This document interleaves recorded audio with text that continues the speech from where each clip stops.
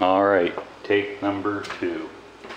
Okay, everybody, I'm going to disassemble the unit. I've set it in the uh, vise. You start with the cap and you work down. That's the way I did it to relieve the spring pressure. So in essence, first step is to remove the, uh, the cap. Hmm, There we go. The cap comes off. Okay, and as you can see here, there's another cap or the adjustment along with a washer.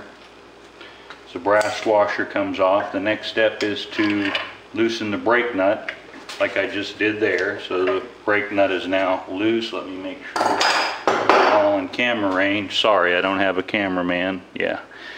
Then you unscrew the, uh, the cap. Just slowly go at it. You can feel it loosens up. There is no tension. And uh, off it comes. You can see there's another gasket, but there's the lock nut, the cap. On top of the cap or down below it, you see a uh, spring. And on top of the spring's a little washer, a washer. The uh, spring comes off next and then you have uh, the uh, device, it's not a, it's pin, it's an, it's a linkage from the spring to hold pressure on the back of the, uh, the nozzle, and I'll show you that in a second.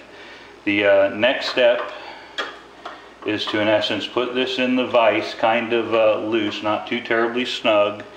Use an Allen wrench so it will stop as I attempt to uh, break it free.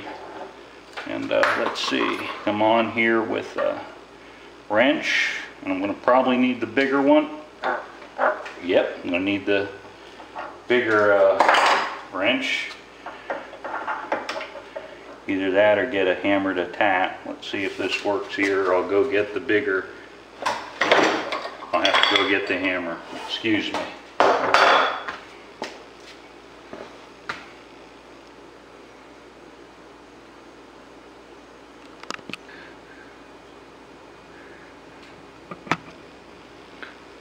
Okay. All right, the hammer wasn't required. All it took was a little readjustment and force, but in essence, I use the Allen wrench to keep it from spinning in the uh, vise. Let me get, finish getting the cap off. This is down there where the sits on the uh, cylinder head.